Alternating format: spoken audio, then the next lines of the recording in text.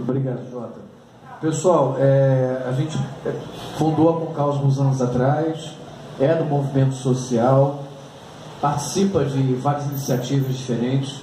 A gente escuta, com tristeza, a gente escuta com tristeza a gente perder um espaço como esse aqui, né? Porque a gente que é da Baixada sabe bem das coisas mundanas da vida, que tem que pagar luz, água, telefone, pessoas. E a gente vê uma série de iniciativas culturais ou espaços culturais como esse, né? É um espaço comercial, mas que abria lá, né, para cada um colocar a sua arte, para fazer seus encontros. A gente toma isso com tristeza. Só que a gente sabe que a vida dá voltas, né? O mundo dá voltas, então a gente sabe que sobe e desce. Então eu sou entusiasta nisso. Apesar de estar num momento um pouco difícil, eu acredito de boa. Eu, Jota, tenho mais experiência na vida. Estou chamando de velho não, tá, Jota? Tá? É, na vida jornalística, melhor assim, né? Na vida jornalística, vamos chamar, né? E sabe que a Baixada tem esses momentos ruins e mesmo assim a gente está aqui de pé, existe um monte de movimentos culturais. A gente tem um programa de rádio que o pessoal do Prata Prosa Poesia já teve lá. A gente volta e meia já repetiu até esse programa. Volta e meia rola o som do pessoal lá do Prata Prosa, lá, Vinícius. É, não é uma rádio, melhor ainda, não é uma rádio comercial, né? É uma rádio da, da população, das pessoas. E a gente, ano que vem, está planejando também em uma TV pública estar com espaço, perfil, coisas boas da Baixada. Essa conversa foi feita ontem, porque a nossa grande dificuldade é aquela história. Ah, você quer fazer? Né, Vinícius Júnior? Quer fazer? Traz o som, traz a água, traz o equipamento, traz a iluminação, traz a. Não me traga problemas. Já estou te dando espaço. E assim qualquer lugar.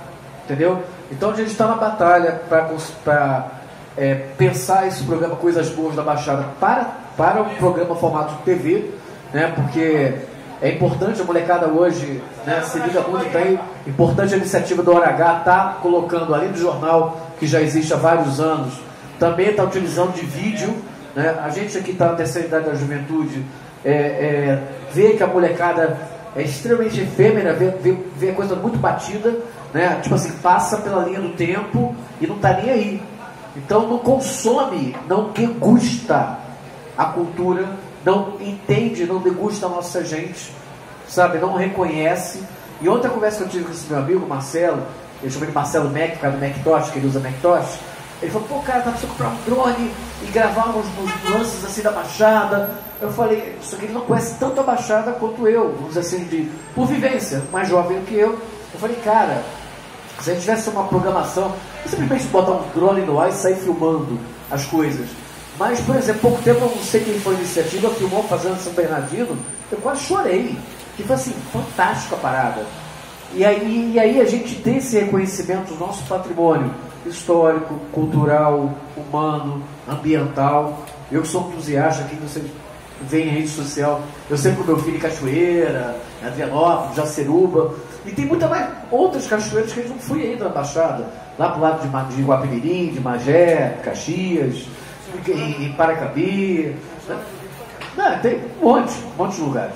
Então eu queria colocar à disposição, a gente tem é, essa meta quanto militantes do movimento social, né? E hoje eu estou passando pelo poder público, eu tenho que trabalhar, então estou passando pelo poder público, mas estou fazendo a passagem pelo poder público o melhor que eu posso.